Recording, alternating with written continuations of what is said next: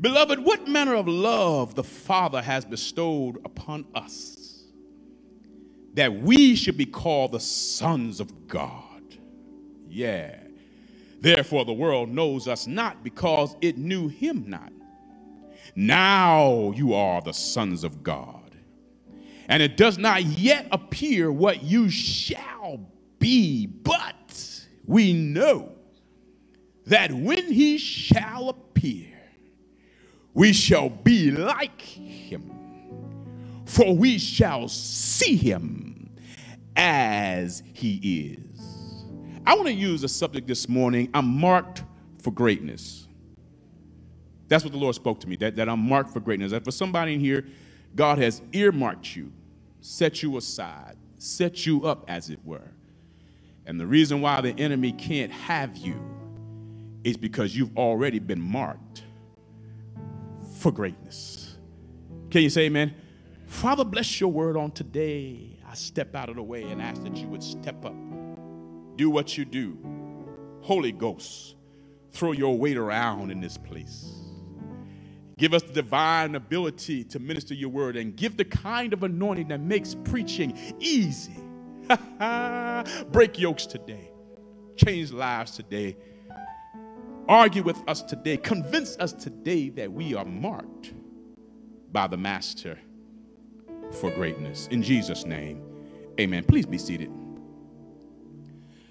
I want to talk for just a minute about first impressions because there was a study done by uh, some Princeton psychologists that found that it takes mere seconds, only about a tenth of a second, to form an opinion or form that all important first impression of somebody.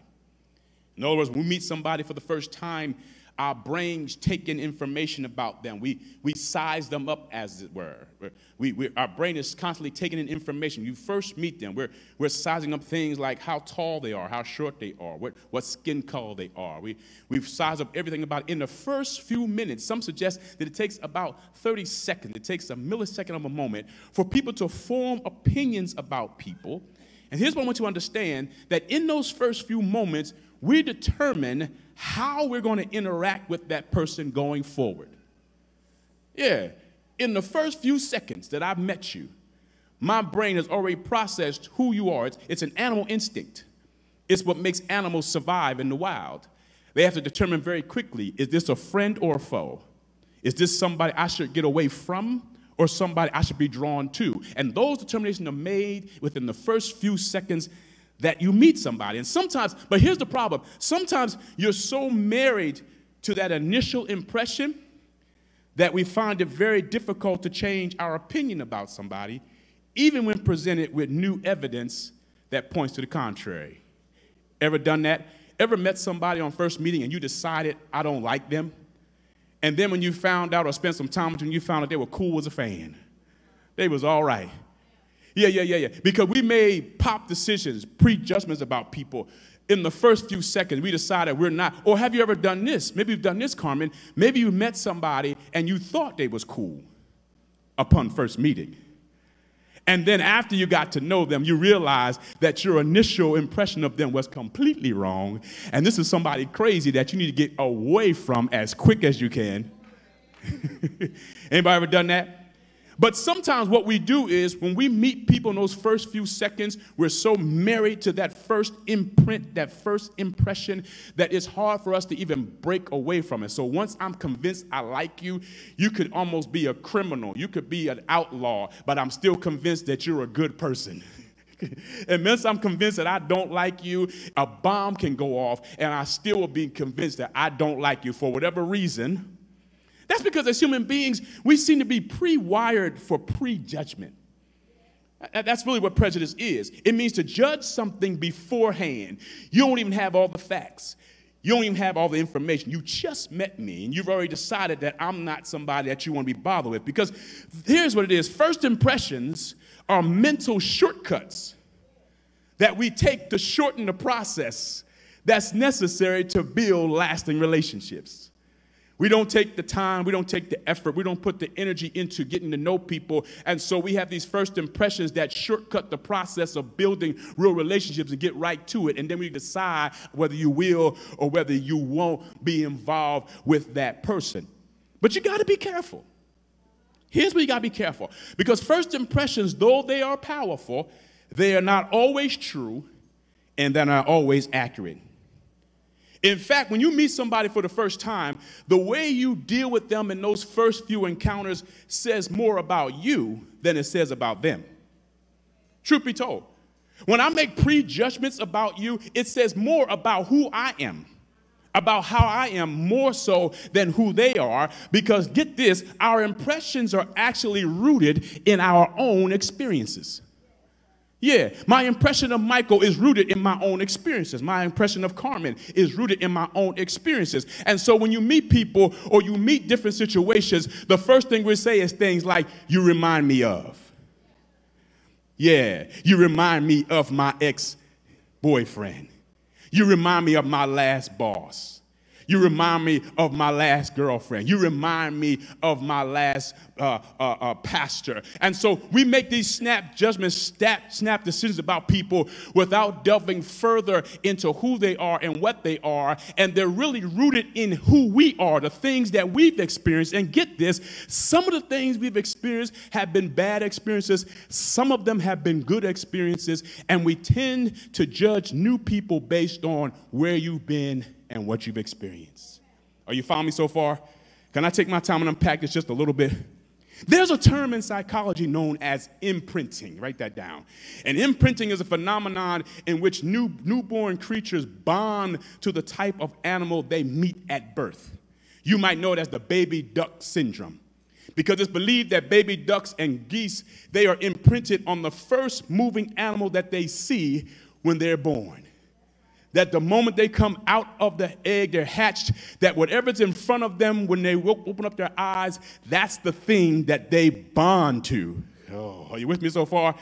They grow such a sense of comfort, familiarity, and normalcy with those first encounters that they basically follow them all around the yard. Have you ever seen them on those movies where uh, the, the, the duck opens his eyes and there's a cat standing in front of them, or a dog standing in front of them, or a horse standing in front of them? It, it's, it's so powerful that even if it's an inanimate object, like a pair of shoes, they'll attach to those shoes. And wherever those shoes go, the duck follow you around. If it's a cat, even though the cat is not your mama and y'all don't share the same character, you follow that thing around because that's the first impression that you have. They grow such a sense of comfort, familiarity, and normalcy that they'll even try to imitate the behavior of the thing that has first been presented to them.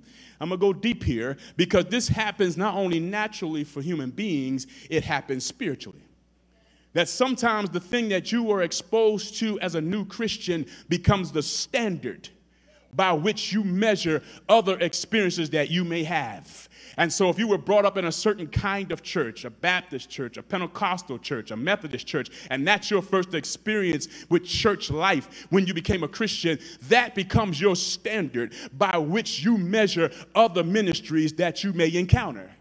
If your first experience, maybe of giving your life to Christ, was through a certain teaching style or a preaching style, that style becomes your standard by which you measure everybody else that you come into. Here's the idea the idea is that many of the preferences, the proclivities, and the leanings that we have, and the attraction to certain things can be traced back to get this early exposure during your formative years, during your most impressionable years as a child during the most impressionable years as a new Christian that you begin to form those opinions. So much so that even when you're presented with other options, with better choices, we still tend to have a pull toward the familiar. Have you ever noticed that? That you can bring in teachers, you can bring in trainers, Sharita, you can bring in people that will teach you about going to the next level. Maybe, maybe on your job or maybe even in church, we can bring people in that will help us to get better at what we do, and we're fine as long as they're standing in front of us. But as soon as they leave, we revert back to the familiar. It's human nature. And so while you're here and while you're teaching, it's a great time. It's wonderful. I've sat in a training class at work, and while they were presenting the information, it was great. It was wonderful. I took notes. We high five. We did all that. But as soon as the instructor was taken away, I revert back to what is familiar. I revert back to who I was before. And so, all over the ministry and all over the church, you will see people reverting back to their formative years, to their first encounters, to their first impressions of what God is and what God isn't. In other industries, it's known as casting. Yeah, it's called casting. For example, in the steel industry, they have what they call metal casting. And metal casting is a process where they pour uh, molten steel or molten metal into a custom made mold. And when they put the metal into the mold and it cools, it takes on the shape of the thing that it's been poured into. And they call it casting. And once that shape is set, it is set in that place for the life of the object. So, for example, I may take steel and I may imprint it or cast it in the shape of a barrel yeah, or in the shape of a pole, or in the shape of a bumper. And whatever that mold is, that cast in, they are doomed to stay in that shape for the rest of its life. It is doomed to stay in the shape of the thing that it has been cast in. And so, try as they might, I've been shaped in the form of a bumper, and that's what I am, and that's what I'll always be because I've been cast.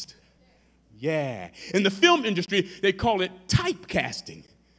And that's where you see certain actors. You know this. There are certain actors that you see play certain roles, and they play that same role in every movie. You ever seen that happen? Like you're a gangster, right? You're a gangster in this movie, and that's my first impression. And you played that role so good that every time they want a gangster in a movie, they call you. And your favorite actor, though it's a different movie, different style, different actresses, different scenes and everything, you always play the villain. or you always play the prostitute. Or you always play the businessman. And what hap- what's happening is you, you're being cast according to people's impressions of you. Yeah, you're being cast according to people's view of you. And some of you are victims of that right now. That certain people have formed an opinion about you, a thought, an idea about you. And every time they think of certain things, they think of you because they think you are one dimensional. That you're one thing. And they don't even give you the benefit of personal growth. That though you met me then, that's not who I am now that though you might have met me in a certain place in my life, please do not believe that that is not what that was then and this is now. But when people typecast you in their mind and they've decided that you'll never be anything, that you'll never do anything, that you'll never get up, that you'll always be an alcoholic, that you'll always be a drug dealer, that you'll always be a liar, that you'll always be a thief, that they begin to deal with you based on their perception. There it is their perception of you. And here's what's so dangerous about that that sometimes their projection becomes your reality.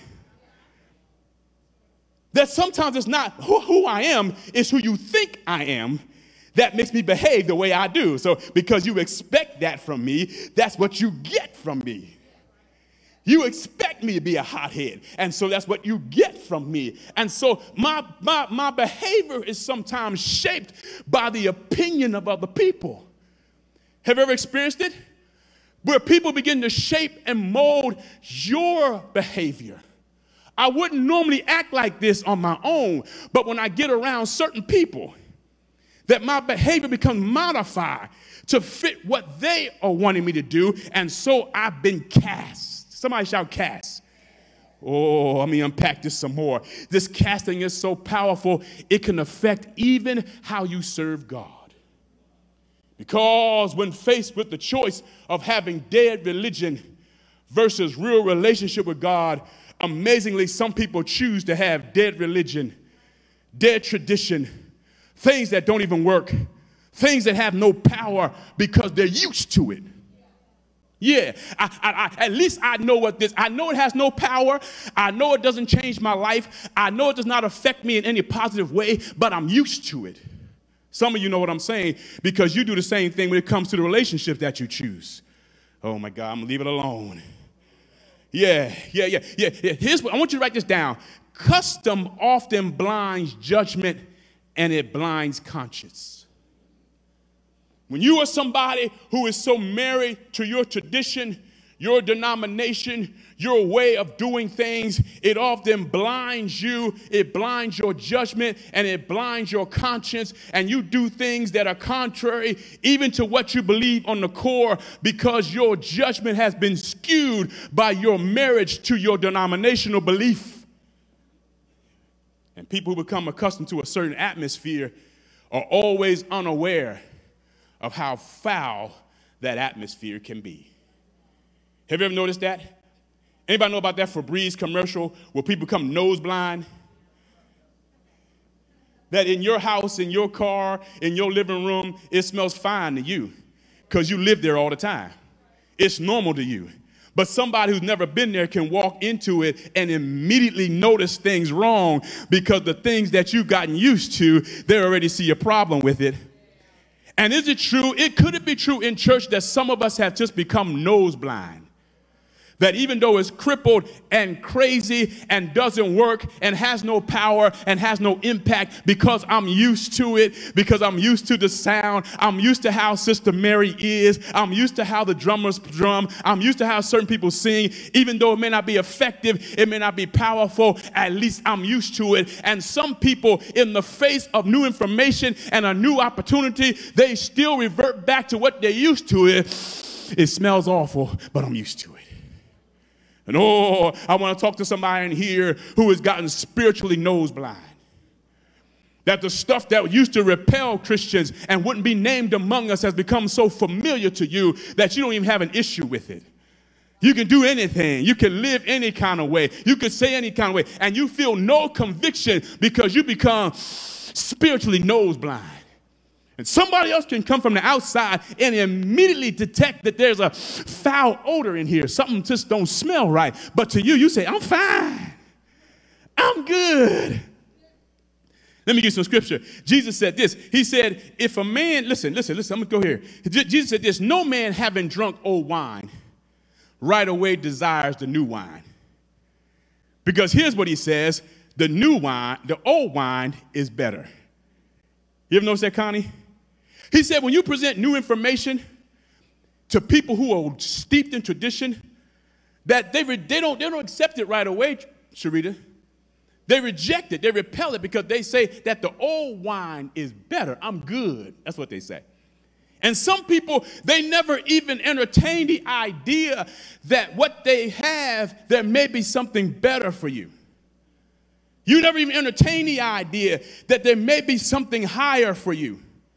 You never entertain the idea that God may have something greater for you. Therefore, you stay stuck. Stuck in religion, stuck in relationships, stuck in jobs, stuck in careers, stuck in situations, stuck in churches and cities and mindsets and attitudes, and stuck in behaviors that have become habitual because you believe there's nothing better coming. That's why you keep picking the same kind of people every time. Different name, same person. Different city, same person. Their name is not Fred anymore. Their name is Bobby, but they still act the same way. You just got a different name. Uh, but I come to tell somebody that there is something greater. That though the enemy is trying to convince you that good is good enough, God is saying that there's something greater that you don't have to be stuck, that you don't have to be cast, that you don't have to be stuck in a mold, that you don't have to accept being doomed to be who you are. And I hear in my head the sound of somebody who is pulling against their old nature, pulling against things they've been involved in, saying, I'll never go back to alcohol. I'll never go back to a certain kind of person. I'll never go back to that certain behavior. But even though you try to pull away, something keeps pulling you back. But I come to tell somebody that Jesus is a habit breaker. Where my witnesses at? That Jesus is a habit breaker. You can have an addiction, you can have a problem, you can have an issue that's been following you all your life, but the God we serve is able to break that mold. I wish I had a church up in here. Somebody say, break it. You can't get new results from having old patterns. You can't get new results from doing the same old thing. Something has to occur in our lives that breaks the mold, that breaks the cast, that changes the imprinting, that changes the script, that changes the pattern, that rewrites the program and gives me a fresh start. God has marked me for something greater, and Jesus is going to break it. Look at somebody say, God's going to break it. God's going to break it. God's going to break. You might be somebody say, I don't do church like that. I don't shout where I come from. I don't lift my hands where I come from. I don't do what y'all do. Y'all got too much emotion going on. You're too loud. It's too long. It's too much. But I'm trying to tell you that God is trying to introduce you to another level of relationship, to a whole nother level of glory. If you lift your hands right here, God said, I'll put the glory on you. Lift your hands right here and say, God, show me your glory. I'm tired of church as usual. I'm tired of coming here and sing a song and go home. I'm tired of coming in as a wet devil and leave as a dry devil. I'm tired of coming in having the same old, same old. I did not get up this morning and get dressed and drive across town to have the same old experience that I had last Sunday and the Sunday before that. Is there anybody in here who came to have an encounter with God? Throw your hands up in the air and shout, I came to see Jesus. I came to have an encounter with God. So, in our text, First John is one of the most intimate New Testament writings in the New Testament because it reads like a family letter. Uh, it reads like a letter from a father to his spiritual children. Are you with me so far? Who are in the world. So some suggest this, this is Father's Day, and some suggest that fathers are not necessary and that they're not important. Yeah. Somebody called me the other day and said, Pastor, I don't understand what it is. Uh, Mother's Day, it was like Christmas time out here. Everything was on sale, traffic was everywhere, you know, parties were going on, couldn't get in restaurants, but it, it's not the same reaction when it comes to fathers. And that's because our society does a really good job of trying to convince us that fathers are not necessary, that they're not even important. But research has suggested that the presence or the absence of a father has a profound effect on the development of a child, boy or girl. A father can affect how they view themselves. A father affects how they view the world. A father helps shape how they see themselves in the world. A father shapes how a young man is supposed to view the world and who he's supposed to be and how he fits in. It shapes who the daughter thinks she is. It begins to put them on a path as to what kind of people she should date and who she should marry. Fathers are significant. Somebody say, Fathers are significant. I come to tell a father in here that you are significant. I don't care what the, what the world's been telling you. I don't care what the devil's been telling you. You are important. Though they tell you that you don't matter, though they tell you you have no real contribution, though they say that you are not important in their lives, and even if you have an estranged child who says you've never done nothing for me and that you never meant nothing to me, I come to tell you by the Holy Ghost that you matter. You are significant. You are important important. Somebody help me celebrate the men of God in this house, the fathers, the good fathers, the bad fathers, the stepfathers, the spiritual fathers, the step. Yeah. So in First John, it writes like a father is writing to his spiritual sons, and he's telling them the truth about who they are in Christ. Because that's what I need from a father. I need a truth teller. Everybody needs somebody that they respect enough that will stand up and tell you the truth. And many people's lives are affected today because you can't handle the truth. And anybody that tried to tell you the truth, you quickly dismiss them, block them, shut them down, shut them off, but there may be some truth to what they're saying. If you've had the last five jobs and all five jobs keep saying the same thing, it may not be them, Carmen, it may be you. If you've been to the last five churches and every church is having the same issue with you, it may not be the churches you attend, it may be you. Are you open to the fact that maybe the things that I'm experiencing in my life have nothing to do with the people I've encountered, but it may have everything to do with the choices I've made? Ain't no men no good. It ain't that all men ain't no good. It's just the men you chose. I ain't gonna get no amens. You're to write off all men because you had a bad experience with somebody. You chose that joker. You took him home. You threw away all of your. Vi- don't blame it. Don't paint a broad stroke and say all women are bad. It's the women you chose. You could have chosen not to, and you could have chosen to, and you chose. Oh. Yeah. Can I get a good amen in here? What I was saying? So here is the apostle saying, I'm going to lay down the truth. you might get mad and walk out, but at least you're going to hear the truth. Because the Bible said that you shall know the truth, and the truth shall set you free. For somebody, if you just had somebody who had enough nerve to stand up to you and tell you the truth, your whole life could be different from now. But every time they try to tell you something you don't want to hear, you shut them down, you walk off, you walk out, you call them crazy, you start rebuking them in the name of Jesus, you act like everybody's something wrong with them. But God said today, I'm going to expose you to the truth. Somebody shout, Lord, tell me the truth. Tell me the truth if it hurts my feelings. Tell me the truth if I'm going to be mad at you. Tell me the truth if I have to stop speaking for three weeks and I have to come back and say, you know what, sis, you was right.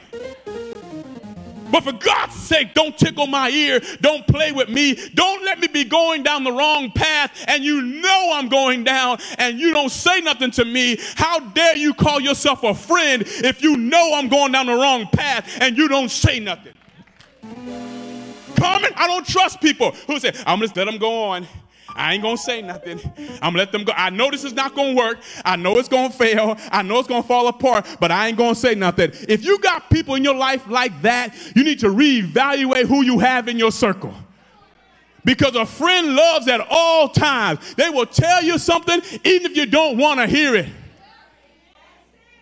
And sometimes God will send you real friends and start getting rid of some of these fake friends who are leading you to destruction. Oh. So here, here's some truths that he sets down. Write this down. Truth number one. He tells them the truth about who they are. Yeah. He said, Now are you the sons of God. That's a definitive statement, Michael. The new life in Christ is a fact, it's not a feeling. And the reason many people don't enjoy their walk with God is because you base everything you do on a feeling. The new life in Christ is a fact. Now you are the sons of God. I may not feel like it all the time, Karita. I may not act like it all the time. But it is a fact. The Bible says, if any man be in Christ, he is a new creature. Old things are passed away, and behold, all things are new. The Christian walk is a daily process of taking off and putting on, of taking off old stuff and putting on new stuff. And here's what I want you to get, Catherine God has declared over you that you are my child. You may be a weak child. You may be a struggling child. You are my child. And the Christian walk is a process of taking off who you used to be to adopt who you're going to be. And what I love about God is my life consists of me becoming what He's already told me I am. Did you catch that? God has already told you what you are. That's a fact. And now I have the job of making my life come up to what He's already spoken. That's why he said, Let the weak say, I am strong. Let the poor say, I am rich. I may not feel rich. I may not look rich, but I am rich. And in a matter of time, it's just a matter of time before my bank account catches up to my reality. Y'all don't hear me. Y'all don't hear me. When God speaks a word of prophecy over your life, your, your life may not look like it at first. In fact, sometimes, Catherine, it looks like it's going in the other direction. But I dare to stand there and declare the word of the Lord and agree with God and said, I am. I am blessed. I am healed. I am delivered. I am set free. I am the head and not the tail. I am above and not beneath. Look at somebody say, You don't know me. I am a child of God. The enemy wants to convince you because you've been weak or because you failed or because you made mistakes that you're not a child of God. But I rebuke that spirit and let you know that you are a child of God and I'm becoming. That's why some people have issues with me because I'm becoming. I, I had this very heated conversation uh, with a very dear friend of mine, and we were having this long conversation about an hour or so, and they kept referring to me like the person I used to be. And I took it, Mark, for about 40 minutes. Then I finally said, wait, wait, wait, wait, wait. I looked him in the eye and said, You don't know me, do you? Of course I know you. I've known you for 20 years. No, you don't know me because you're still referring to me like the person I used to be. And I'm not saying I wasn't that person, Catherine. I'm not saying I didn't do those things, but you haven't been around me long enough to see the transformation. How many in here are glad that you're not who you're going to be, but you're not who you used to be? Where are my witnesses at? Yeah. Yeah. The Christian walk is a process. I'm blessed. I'm favored. I'm free. Talk about Juneteenth. We just celebrated Juneteenth on yesterday, which is the fact that we're celebrating the fact that the slaves were free for about two years before they found out in Texas that they were actually free. So that means for two years, brother, for two years, they were still acting like a slave, living like a slave, working like a slave, being mistreated like a slave until somebody finally came and let them know that you are free. I come to tell somebody in here that you are free. You're not excited about that. You, you're waiting for a feeling to be free. I got a feeling that everything's going to be all right. But is there anybody in here without any feeling, without any drums, without anybody pumping you that can know for a fact that I'm free, I'm blessed, I'm healed? Jump on your feet and declare, I'm free. That devil is a liar. I'm a blessed woman of God. My womb is blessed. My children are blessed. I came up in a crazy house, but I'm a blessed man of God. Slap somebody say, I'm a blessed man of God. I'm a blessed woman of God. Number two, second truth. You have to accept the truth about what you have. And what I mean by this is that the best part of you, I suspect, has not even been revealed yet that people haven't seen the best of you. You haven't sung your best song. You haven't preached your best message. You haven't done your best work. You haven't been who you're going to be. The enemy has convinced you that you've gone as high as you can go, but I come to tell somebody that the best has not been seen yet. You haven't written your best book yet. I don't care what song you sung, what project you created. God said to tell you, you haven't seen the best of you yet. All you're getting right now is previews, commercials of what you shall be. Because somebody has convinced you that where you are is where you're going to always be. That what you have is what you're always going to have. And there you are stuck in a place because you believe the lie that the enemy has told you that you have topped out, that you have capped out, that you're always going to be a drug dealer, that you're always going to be a liar, that you're always going to be who you were. But I come to call that devil a liar. The story is told to me of a, a young eagle who was raised by a family of chickens and uh, he thought that he was a chicken because he was around chickens.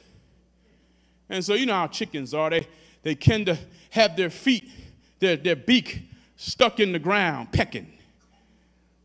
They can only see a few feet in front of them. They spend their whole existence clucking around the yard, scratching, pecking. And so, because this young eagle thought he was a chicken, he hung around chickens. He tried to do what the chickens do, even though he was physically built differently from the people around him. He acted like they did because he thought he was a chicken. So when they scratched in the dirt, he scratched in the dirt. My beak is different, my feet are different, but I've accepted the fact that I'm a chicken. And I come to tell somebody you're hanging around some chicken folk. You're never going to go any higher than the company you keep. And the reason why you can't do more with your life is because you surrounded yourself with people that don't want anything. They don't want anything. They're not going anywhere. And when you try to get out of group thing, they make you think something wrong with you because you want something different. And every time a little eagle try to do something different, the other chicken would push on them and say, now you know you're a chicken. Some of y'all got friends right now who every time you get a good idea, they shoot it down. Every time you got a project, they're going to tell you what's wrong with it. Every time you say, I'm going to live better, I'm going to be better, I'm going to do better, they convince you, why would you be different? Come on and be a chicken like the rest of us. Cluck, cluck, cluck, cluck, cluck. And all that was fine, Jonathan, until one day the young eagle looked up in the sky and he saw an eagle soaring through the air. And when he saw that eagle cutting the air, an eagle being the most powerful uh, a creature that's flying through the air, he said, Oh my God, that's me. Some of you, God said, I'm just trying to raise your mentality. You're too low. You're way too high to think that low. And the problem is you're hanging around these chicken folk. Michael, I can't be around chicken folk. I can't be around chicken mentality. I can't get around people who every time it's trying to do something, tricks, you get scared. Oh, we can't do that. Oh, we can't go there. Oh, we tried that the last time. You hang around some chicken folk. If you got people that God speaks to you powerfully and you get energized and you get motivated and you get around certain people and it deflates your balloon, that's a chicken. If you get around people who always try to convince you that your life is all right the way it is, that's a chicken. Get away from the chicken folk. You got to get away from some people who challenge you on another level, who challenge you to think higher, who challenge you to go deeper. Because until you get around somebody who will stand in your face and put their finger in your chest and tell you you're better than that, you'll always be a chicken. Stop dismissing everybody that gets on your nerves. Some of them are there to push you to be greater than you ever thought that you could be. Oh my God, I need somebody to push me. Push on somebody and say, Push me. Don't hold me back. Don't hold me down. Push me. I want to be a better singer. I want to be a better musician. This is not good enough for me. I want to be a better preacher. I want to be a better husband. I want to be a better wife. This is not good enough for me. Push on somebody and say, It's better than that. I looked up, oh, Pastor Jonathan, I was fine hanging with the chickens until I looked up and saw somebody that looked like me. Because here's the problem no matter how much you try, you can't change, a, change the nature of a chicken to an eagle. It's not where the eagle became somebody different. He was always an eagle. He just didn't know it. I come to talk to some eagles in here. I'm not giving you something that you don't always have. It's always been in you. It's always been there. I'm just calling out of you what was already there. You can't change somebody who is destined to be a chicken into an eagle. Those are two different creatures. Some people are destined to be chickens. That's all they are. That's all they want to be. That's all they're ever going to be. But somebody in here, I don't know who I'm talking to, for somebody in here, you sense that there's something different about you. You sensed it since you've been a child. You sensed it since you've been a little girl. You see things differently. You process things differently. Things that other people see as funny, you don't. And everybody laughing, having a good time, and kicking back. But you're thinking, this is stupid. This is stupid as I don't know what. I don't even know why you're laughing at that because you see things, you process things differently. You see things down the road. An eagle can see things from miles away. It's called vision. I can see small objects from miles away. Chickens can only see a few feet in front of them. That's why when you have conversations with certain people, they get bored and they can't hang because they're talking about what we're going to do after church. And I'm talking about what I'm going to do in the next five years. God is talking to me about my next steps, about where He's taking me, and you want to talk about what they're talking about on Real House of Atlanta, Real Housewives of Atlanta. Somebody in here, God, while I'm speaking, is giving you a vision for what He's going to do for you the next five, ten years, and somebody else is only thinking about where we're going to eat after church. Push on somebody, say, get around some egos. Get around some eagles. Get around some folk that are sore. Get around somebody that says, I, I believe I can fly. I, I, may not have my wings exercised yet. My wings may be weak. I may not have the business plan together yet. I may not have all the support I need yet. I may not know exactly what I'm doing yet, Catherine, but I believe. See, that's my problem. I believe I can fly. And sometimes people laugh at me and they call me crazy, Angela, but I believe. Is there anybody in here that believe it? I'm not asking you, do you have the job yet? I'm not asking you if you have the marriage yet. I'm not asking you if you have the business yet. I just want to ask you, do you believe it? If you believe it, shout at your boy and say, I believe it. That's the truth. Last thing, and I'm done. You have to accept the truth about who you shall be. That when he shall appear, we shall see him as he is. I'm going to suddenly understand who I am. The way to live your life in a way that pleases God is to model your life after Jesus himself. When it comes to people, we can admire people, we can respect people, we can glean from people, we can even get tips from people. Best practices what businesses do. They go to other businesses and they see things that other people are doing that are working and they may imitate that, right? They, they adopt what they call best practices. You can get tips from other people. But, but let me warn you about this. You should never completely model your life after any one person. Ever. Because no matter how accomplished they are, successful they are, how much they have, what they drive, anybody you model your life after in this world is flawed material at best. It's flawed. It's flawed. And when you try to imitate their behavior, you also adopt their flaws.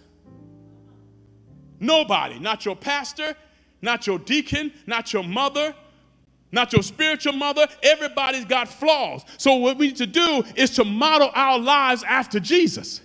I know that's hard. We can't hardly take it in church right now because everybody's trying to find a role model. And I'm going to wear my hair like Lady Tanya wears her hair. And I'm going to wear my shoes like Catherine wears her shoes. And I'm going to sing like Jonathan. And I'm going to preach like my. And you want to be like all these people. Ain't nothing wrong with following people. Nothing wrong with that. Even Paul said in one place, Mike, he said, Follow me as I follow Christ.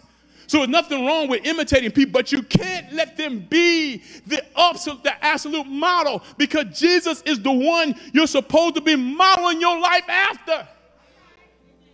Models matter. Anything else and anybody else you're modeling after is not going to please God because all those models are flawed at best. The Bible says this looking unto Jesus, who is the author and the finisher of my faith. That's what I'm supposed to be looking at. That the Bible says that the more we look at him, we are transformed into the same image from glory to glory. That you become the thing that you're staring at. You ever notice that? That when you notice certain people, you admire them, you start taking on little traits, little attributes, maybe the way they dress or the way they speak or the way they walk or the way they talk. And many people who will spend hours studying other people won't spend five minutes studying Jesus. And you wonder why you don't take on his character and his behavior. But the more I look at Jesus and stare at him, the more I become transformed. See, right now, you and I are both in a transformation process. Don't let nobody criticize you because you're not perfect yet, because they're not either. But I'm being transformed that the longer I look at him, the longer I stare at him, the longer I pay attention to him, I'm in a transformation process. How many people know I'm in the process? Where my real Christians at? I'm, I'm, I'm transforming right now. I'm better than I used to be. I pray differently. I praise God differently. I go deeper than I used to. The things that used to throw me don't throw me like they used to. The things that used to get on my nerves don't throw me like they used to. The things that used to make me cry don't make me cry like they used to because I'm changing. Look at somebody say, I'm changing. I'm changing right before your eyes. I'm changing while you're looking. While you're talking about me, I'm changing. That's why you can't pay no attention to your critics. Because while you're talking, you're talking to my back. Because I'm changing. Let me close with this uh, I have one of those smart TVs in my house, and uh, and they're really smart. But one of the things that gets on my nerves about them is that they always pop up with this message that says, uh, a new software is available. Do you want to update? Yeah, it pops up. It doesn't force it on me. It just asks me, do you want to update? And uh, Catherine, I'll be honest with you, most times I say no. You know why? Because I'm impatient, I'm busy, I want to get right to it, I want to get on with the show. So I push no. I don't want to take the time to push yes. Because if I push yes, I know it's going to start a process that's going to take time. So I'm in a hurry. So I say, no, I ain't got time for no updates. I ain't got time to go to school. I ain't got time to go to class. I ain't got time to learn nothing new. I'm busy doing what I'm supposed to do. But what you don't know is every time you say no, you're missing an opportunity for your TV or your phone or your computer to download information that you're going to need later that the updates are not there just to get on your nerves, it's to add to your it's to add to your situation. It's to add to your equipment. And the same thing is true with Christ. Some of you, you haven't done anything new since you got saved in 1972. You still doing the same two step that you've been doing. You still got the same raggedy praise. You still doing the same thing you did 15 years ago and wonder why you haven't experienced anything greater. You need an update. God has called somebody here to say that you need an update. When you see him, you shall see him as he is, not as he was. As he is, not as he was. This is not the Jesus who walked the shores of Galilee. This is not the Jesus that was dragged through the streets of Jerusalem and beaten like a dog and hung on a cross. This was not the Jesus that was hanging between two thieves. This is the resurrected Jesus. This is the victorious Jesus. This is the Jesus who sits on the right hand of the Father. This is the Jesus that said, All things are under my feet. This is the Jesus that said, All power in heaven and earth has been given unto me. You need an update. If you still walking around here talking about the Jesus that was dragged through Jerusalem, baby, you need an update. You need a victorious Jesus, a powerful Jesus, a glo- Lift your hands I need a glorious Jesus. I need a glory. That's why my praise can't be dry. That's why I can't hardly stand it. If you drag me into a dry praise, I just want to get my bags and get out. Because when I think about where I met Jesus and how crazy I was and what I was into and what I was dealing with, and now I found a powerful Jesus. Somebody lift your hands you know you got a powerful Jesus. Yeah, I got a Jesus that'll put his foot on his enemy's neck. And because that's who he is, that's who I am. Somebody step your foot and say, I put my foot on it. I'm putting my foot on poverty. I'm putting my foot on depression. I'm putting my foot on something. You ain't putting your foot on it. You patty caking with me. I said, put your foot on it. If Jesus ain't broke, you shouldn't be broke. If Jesus ain't depressed, you shouldn't be depressed. If Jesus is not broke down, you shouldn't be broke down. If Jesus is not on the cross, where my victorious people at? Where my victory people at? Where my folks that got to victory? Where my folks that starting to act like my daddy? My daddy got stuff under his feet. My daddy got his foot on the devil's neck. My daddy got the power. Push on somebody, I'm acting like my daddy right now. I'm acting like my daddy right now. I got a little swagger right now. I got a little boldness to my step right now. I walk in because I got the victory right now. I'm acting like my daddy. Throw your shoulders back and say, I'm acting like my daddy. I dance like my daddy. I sing like my daddy. I praise like my daddy. Open your mouth and give God a praise because you got the victory.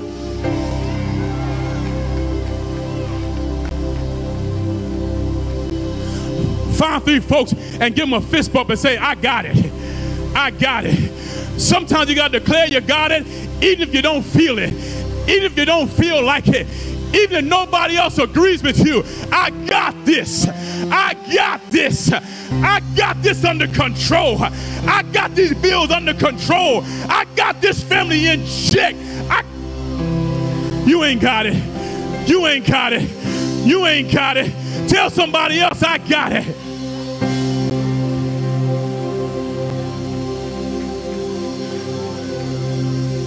See, the reason they don't believe you, sis, is because they're looking at what you got right now. They're looking at what you're driving right now. They're looking at what you're living in right now. They're looking at what you have right now. But I need somebody that sees through the eyes of faith and say, I already got it. I said I already got it. I said I already got victory is already my mine. Somebody lay hands on yourself and say, I'm already healed. I'm already here. Lay hands on your head. I'm already delivered. I'm already set free.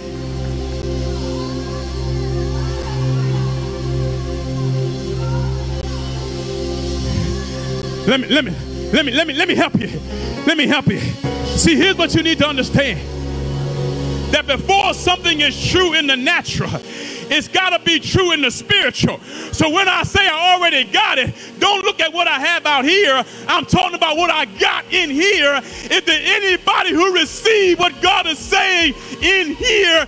Give God a praise if you got it.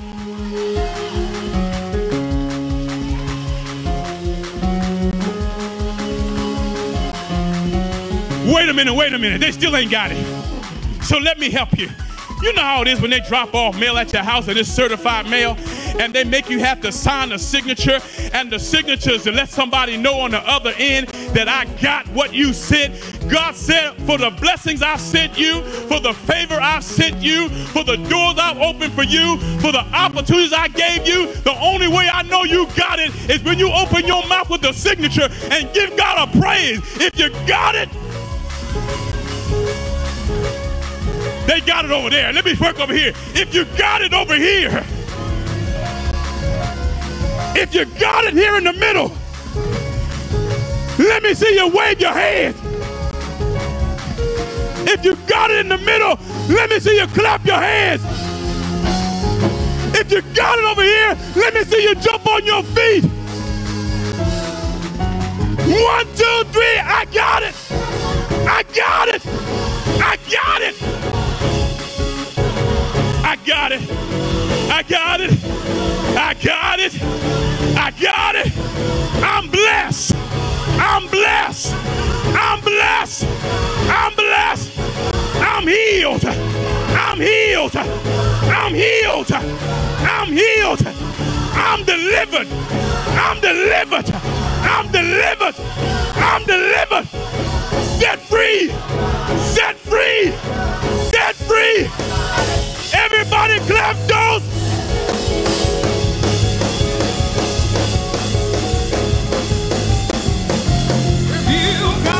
What you say, man? Let me see you wave your hand. Hear you in here. You it, What you say? They don't believe in the back. I got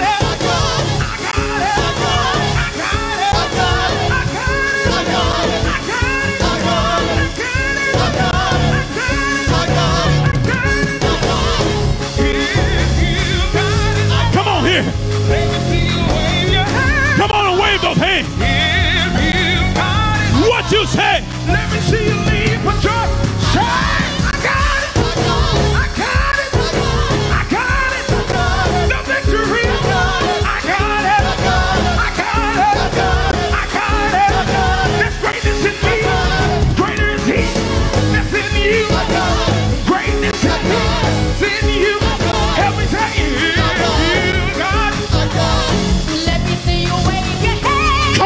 in tongue.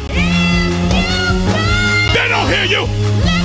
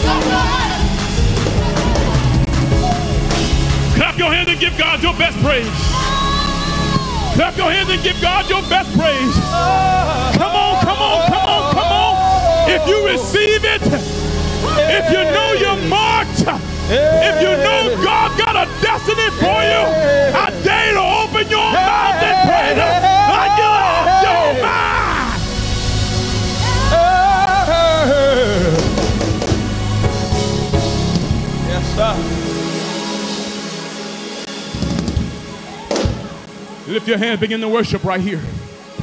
If your hands, begin to worship right here. The Spirit of the Lord is in this house. The anointing of God is on this service.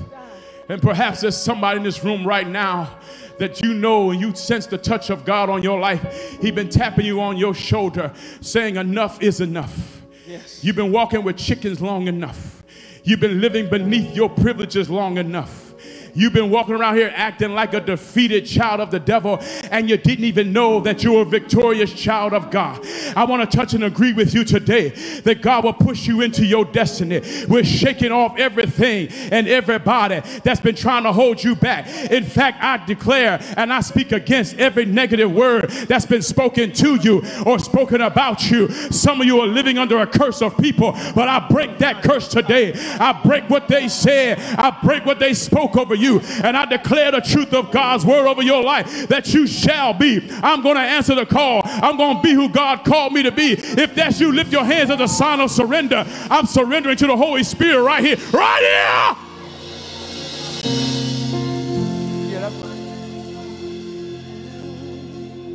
If I were you and I weren't a Christian, I'd be rushing to this altar right now to give my life to Jesus. If you are backslider in here right now, I'll be rushing to this altar right now. If you're somebody that's been wrestling with the call from God and you're not sure if you should go or not, God has been calling you for a long time, but God has said you've been marked for greatness. You're not going to fit in anywhere. You might as well lean into this and accept this. Lift your hands right here. Lift your hands right here. I sense the anointing of God on you right here, right here. I'm going to give you about 30 seconds. And I hear somebody say, well, we don't do that in our church. We don't do that. We don't do altar calls in my church. We do it right here in our seats. But I want somebody who's bold enough who will step outside of your norm and get in the aisle and come right down here and let that devil know you're not going to hold me back. And the same boldness that you take towards this altar, God said, I'm going to give you the boldness to walk into your blessing. I dare you. Where are you at? Where you at? The young people. I don't care who you are, man, woman, or child. God is calling you to another level of glory. And I want to see you right here. I want to touch and agree with you right here for God to do something amazing in your life. In fact, I want to deputize you. Yeah, because somebody's being held back. Look over to your neighbor and tell them, neighbor, I'll go with you. I'll go with you. I'll go with you. Is God talking to you? Is he talking to you? I'll go with you. There's one right there. Come on, talk to your neighbor. Don't talk to me. Talk to your neighbor and say, I'll go with you. I'll find you. Where are you, sis? Where are you, my brother? I know there's more in you than that. I know God's got greater things for you than that. You're living way below your privileges. You're better than that. You're higher than that. There's more in you than that. Shake off what you're used to and come up here. There's greatness in you. Where are you? You've been marked You by the Master. shall be with God. He's got his mark on you. you You're not going to fit anywhere else but in his hand. There is greatness in you. Not with your friends, not with your girlfriends, not with your homies. God has marked you. You're not going to fit anywhere. You shall be with God. The safest place to be in the whole wide world is in the will of God. For somebody, you need to stop wrestling and come right now. Lift your hands, sister. Lift your hands right here. Lift your hands right here. The anointing of the Holy Ghost is upon you right now. The hand of God is upon you right now. I lay my hands on you. The glory of the Lord fall on you right now. From the top of your head to the soles of your feet. It's happening right now. You've been marked. You've been marked. That's why you don't fit. That's why you don't fit. You ain't never gonna fit. You ain't never gonna fit. Ow! You ain't never gonna fit. You're his. You're his. You're his. Somebody else needs to come. You're his. You're his. Yeah, all the things you're going through because you're his. yeah, because you're his. Trouble can't stop you. The enemy can't stop you. You're his. Ow! I'm his. Somebody lift your hands. Hey, I'm his. I'm his. From the top of my head to the soles of my feet. I'm his. This is the day. We're breaking the yoke today. We're breaking the chain today. We're coming out of it today. Today, today, today, today, today, today, today. Today, today, today, today, today.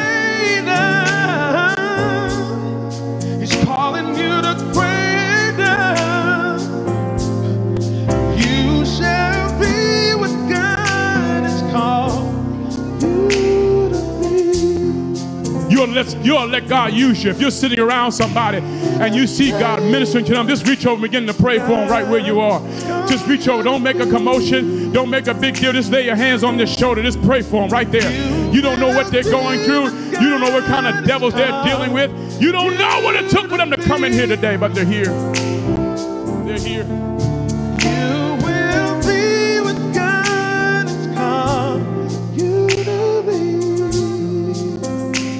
Going to be what God's called you to be. You will be what God has called you to be. I'm going to do one last thing. I'm going to do one last thing.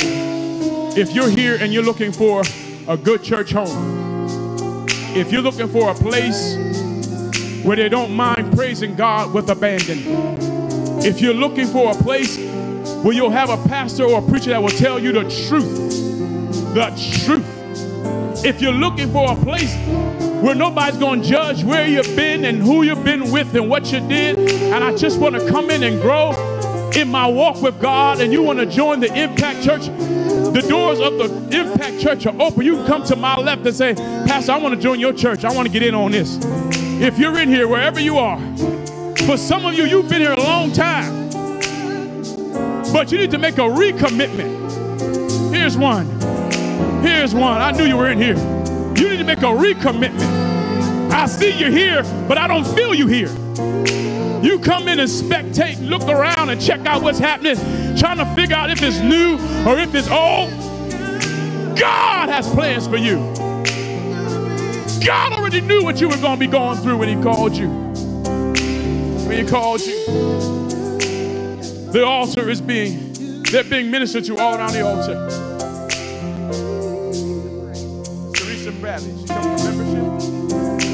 Miss Teresa Bradley wants to become a member of the Impact Church. Come on, Impact Church. Make some noise for her. Come on, Impact Church. Come on, Impact Church. Come on, Impact Church. I can't hear you up in here. Come on, Impact Church. Make some noise.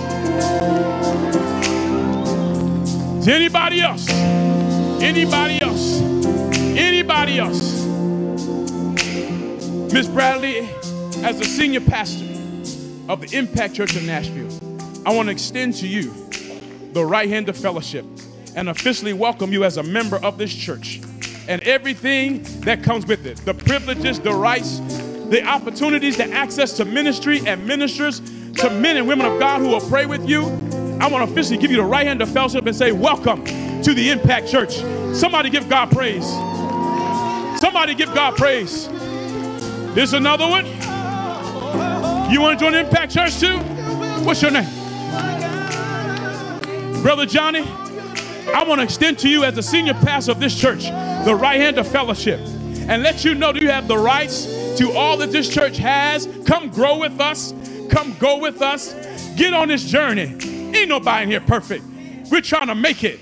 But I want to extend to you the right hand of fellowship and let you know that we will do you good. We'll pray with you. We'll fight for you. We'll fight beside you. And I want to officially give you the right hand of fellowship and welcome you to the Impact Church. Come on, church. Come on, Impact Church. Come on, Impact Church. They're still joining. They're still joining. Huh? Leah Moore. I was looking for you yesterday. You know I was. Yeah, but you're going to join our church today, right? Come on, let me give you the right hand of fellowship. Come on, saints. Come on, say She's just smiling and laughing. You want to give God praise in here. Lift your hands and give him glory in here.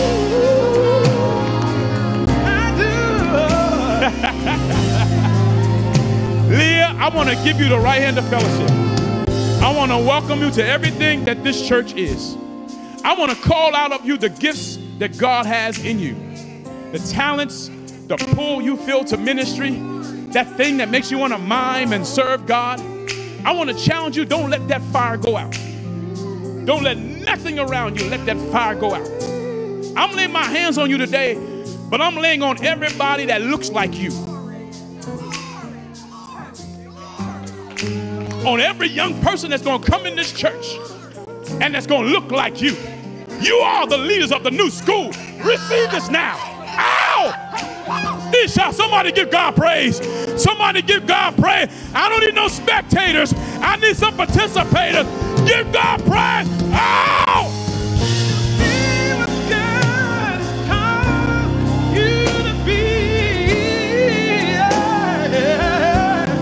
Right there, right there, right there. Holy Ghost. Holy Ghost, right there.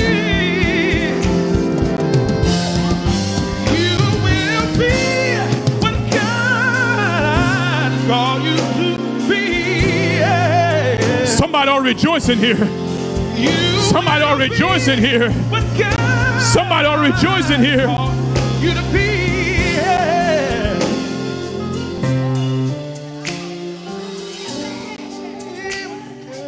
The Holy Ghost is moving all over this altar. They're being filled with the Holy Spirit. They're accepting the call of God's on their life. I'm going to close this service out. I'm over my time. But if you're online and you want to join, just go to our website and we'll receive your information and somebody will contact you to be a part of this great ministry and this great church. Would you praise God for our internet audience that's watching us right now?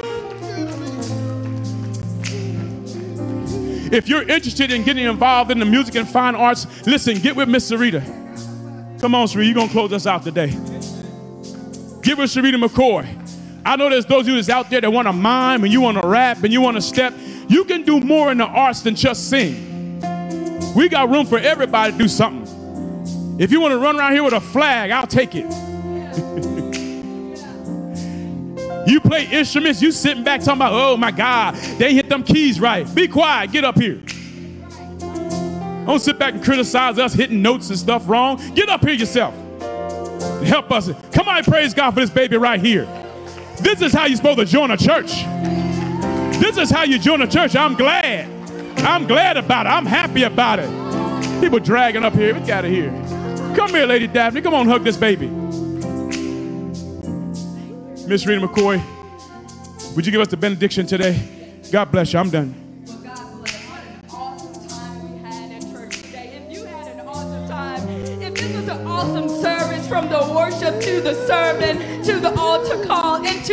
Members, somebody give God a shout of praise. Oh, God deserves. I said, somebody give God a shout of praise. God gets the glory. And so, Father, we thank you. We thank you, Father God, for what you've done in this service. We thank you for what you're doing in our lives. And this week, Father God, you already gone before us and made our way path clear, Father God. Everything, Father God, is going to be just like you, Father God. Everything more greatness, Father God. Everything is going to be more greatness. And it's greatness in you and greatness in us. And we believe that in the mighty name of Jesus. Somebody shout Jesus. Come on. Oh, that wasn't loud enough. I said, somebody shout Jesus. Y'all have a blessed week. Hallelujah. Glory to you.